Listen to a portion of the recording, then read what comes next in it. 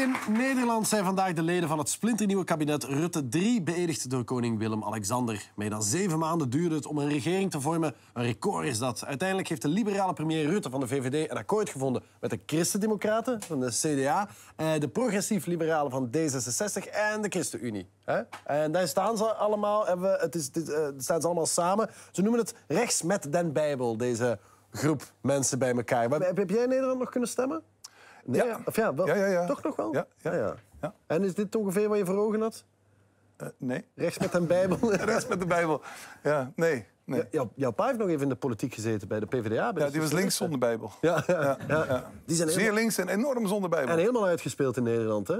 Eh, hij in ieder geval. Ja, ja. ja, ja, ja, ja. Hij, is, is een, tijdje overleden, maar ik wil zeggen, de, de, de, PvdA, alles wat, wat de socialisten, die doen daar ook niet meer mee, hè? Ja, maar er zat heel veel tijd tussen. Tussen dat hij erbij zat en dat het mis is Dus ik zeg ook niet dat zij schuld is, hè? Maar, maar, maar, eh, maar goed, maar... Dit is niet mijn vader. Nee, ook niet. Dames en heren, volg goed, dit is Mark Rutte. Dat is de baas van Nederland. En dat, blijft nog even jouw baas. Of tenminste, de baas van de Nederlanders. Eh een van de dat is vele een goede redenen... baas. Ik woon er niet meer, hè? Dat weet ik, maar dus nu kan je Ja, maar dat zegt iets. je kan vrij spreken. Ja.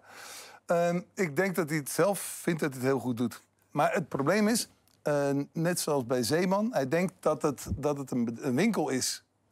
En een land is geen winkel. Maar hij, je krijgt het niet aan zijn- verstand gepeuterd dat het anders zit. Dus hij denkt, oh, we maken winst, dus het gaat goed. Oh, we maken verlies, het gaat niet goed. Maar dat Ja. is bij winkels zo, maar bij landen is dat anders. En wat, Dus de, de manier waarop je prioriteiten stelt, waar je je geld aan uitgeeft, dat geld wat je krijgt van de mensen die je zegt het, eh, de belangen van te behartigen, daar moet je over nadenken. Hoe geef je dat uit? En niet met hoe ga je daar winst mee maken. ja, Snap je? ik snap het. En dat doet hij nu al voor de derde of vierde keer. Ja, maar, Dus- maar zolang er geld binnenkomt en de winkel goed draait, dan denk ik dat iedereen wel blij is. ja, precies. Maar nogmaals, het is geen winkel. Het is geen winkel, Nee. het is een land. Ja, precies. Tijd voor een andere matroos. ik. Ja, voilà, dat bedoel ik.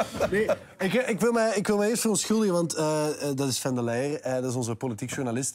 En omdat jij hier zat en omdat het vandaag toch wel een belangrijke dag voor Nederland was, had ik gezegd, Sven, ga eens langs bij Rutte en, en, en, en ga eens even kijken eh, wat voor iemand dat is. En ja, ja, jij hebt dat verkeerd begrepen eigenlijk. Eh, Ik denk dat we kunnen spreken over een klassiek misverstand eigenlijk. Goh, het is- Je had mij inderdaad gevraagd om Rutte, Ja. liberaal leider, te volgen. Ja. En ik dacht dat jij het had over Gwendolyn Rutte. Nee, ik had... eh nee.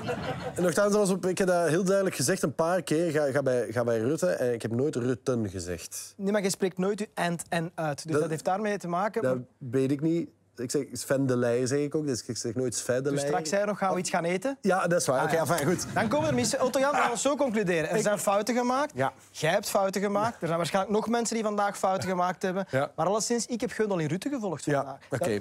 Ik heb ze gevolgd, ja, belangrijk. Dat was niet in Nederland, want daar moest ze niet zijn. Nee. Maar zij is momenteel bezig aan een tour door België. Ja. Ja, het is een Rutte. Hè. Rutte is Rutte. Ja. Ehm, zij is een tour door België aan het doen in het kader van de gemeenteraadverkiezingen eh, volgend jaar in oktober. En zij wil alle Vlaamse gemeenten bezoeken.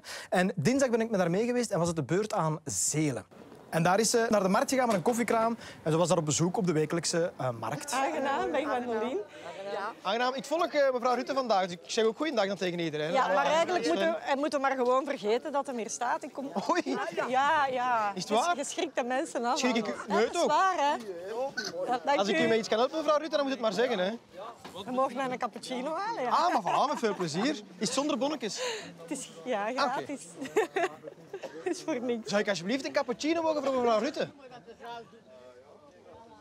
Daar mag iets bij van het flesje. ja, het was al redelijk snel duidelijk dat ik daar niet veel te doen had, maar ik zag dat het koffiekraam niet echt open VLD uitstraalde, dus ik had nog een klein cadeautje voor mevrouw Rutte mee. Ik heb nog één cadeautje voor u. Eh, dat kan u aan uw kraam hangen, want het is niet gepersonaliseerd. Dus dat kan u eraan hangen als u wilt. En het voordeel is ook, als u even moet gaan plassen of u wilt even weg, je draait het gewoon om. Gesloten. Je was...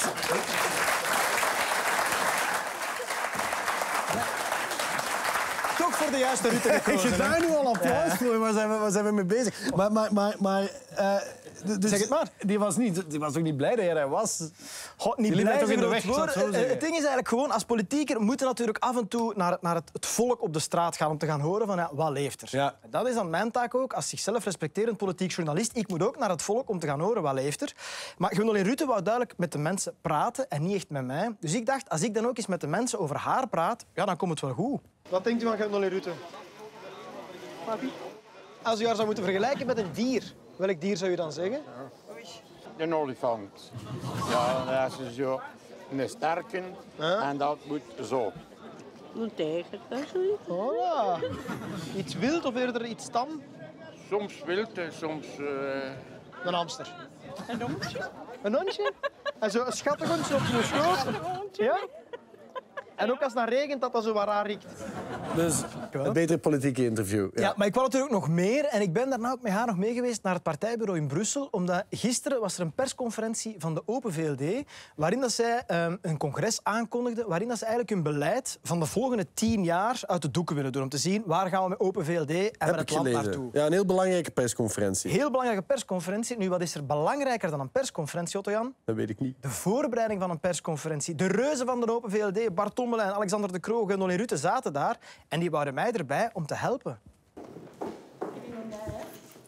Meneer Tommelijn. Goedendag. Best ermee. Ga je mee vergaderen, echt, ja. Hebben jullie het mij gevraagd om even mee... Ja, ja, eh, ik ga, ik ga de- Maar ik ben hier niet, hè. Je hebt dus antwoorden. Meneer de Croo. Ik ben wel geweldig fier dat ik hier mag bijzitten. Ja? Partijvoorzitter, Vlaams minister, federaal minister, alle woordvoerders. Ministers, hè? Topministers Ja, zelfs. ja, ja, dat zijn de vice-minister-president en de vice-premier. Ik zit meer aan die twee van de Muppet Show te denken op dit moment. Ja, goed voor de sfeer. Je bent daar toch niet, ik ben nu, je bent daar toch niet over fruit en groente begonnen? eh, Over dat Nee, soort nee, nee, nee, natuurlijk niet. Dat is het moment dat, dat de reuzen van de Open VLD dat die een strategie bedenken hoe dat ze de dag erna in die persconferentie de pers gaan overtuigen van hun nieuw beleid. Ja, en dan hadden ze mijn expertise gevraagd en dan was het kwestie van de juiste vragen te stellen. Dus ik weet niet wat er voorzien is van hapjes. Zijn er hapjes?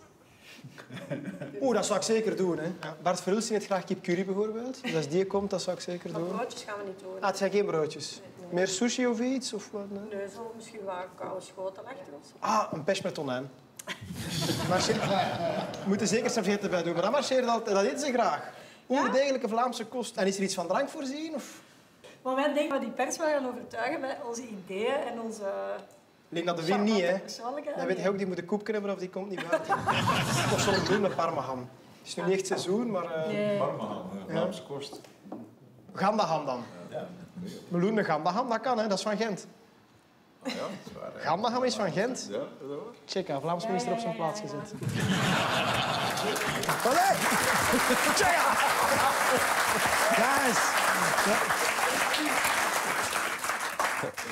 Ik moet toegeven, het was een beetje teleurstellend. Vooral voor mij, omdat ik had van de dag geen enkel momentje met Gwendolyn Rutte alleen gehad. Op die markt, al die mensen waren erbij. Hier waren dan ja, Tommelijn en de Croo er altijd bij. Nu, gelukkig, zij moest daarna naar huis, naar Aarschot, in de wagen. En ja, ze rijdt via Tervuren, waar ik woon, dus ze heeft me dan een afzet bij mij thuis. Er is ons nog één ding, dat is de alomgekende snelle vragenronde. Ik weet het, u begint altijd bibberen en dat is normaal, Ja, want dat hier wordt natuurlijk allemaal. politiek verschil. Wordt erover gepraat? Ja. Is het waar? ja, Sven komt af met zijn snelle vraag. Ah. Maak dat je weg bent. Ja, maar je kunt niet weg, daarom dat ik dat in de auto Ja, doe. ja, ja. Klaar? John Crombé of Ignace Crombé? John Corbet. Ja? Dat is toch altijd zo wat kat en hond, jullie twee, hè? Ja, dat, dat is omdat hij soms van die dingen zegt. Maar ja, goed, dat zullen de mensen van mij misschien ook wel denken. Hè. Wie is de mooiste man? Chris Peters of Bart de Wever?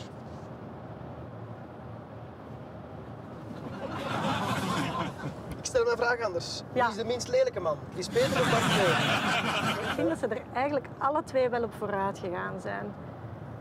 Ja. Maar ze zijn alle twee mijn type niet. Aarschot of Brussel? Aarschot. Aarschot of Beenschot? Aarschot. Pijn?